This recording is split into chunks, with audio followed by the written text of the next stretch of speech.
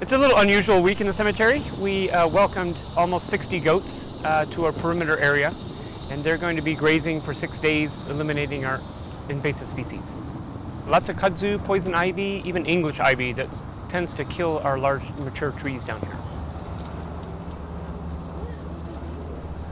In leaves and stems, a typical goat's eating somewhere between 10 and 15 pounds of, of green material a day.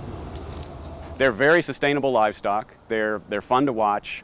They're, they're low impact. And um, I think we're rediscovering some real old technology that uh, needs to be brought back.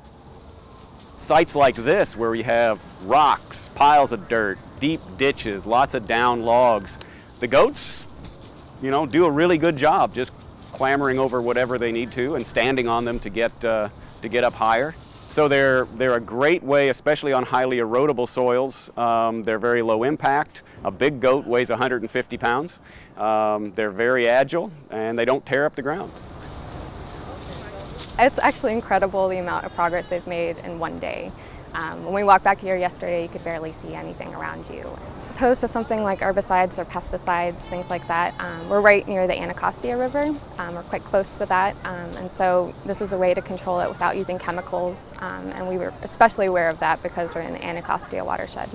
It's actually much cheaper to hire the goats. Um, we would have to hire humans and as well as purchase you know, pesticides, herbicides, and then we're left with the debris that we clear out. But the goats cost about $4,000 for the week. And if you break it down, it's about 25 cents per goat per hour.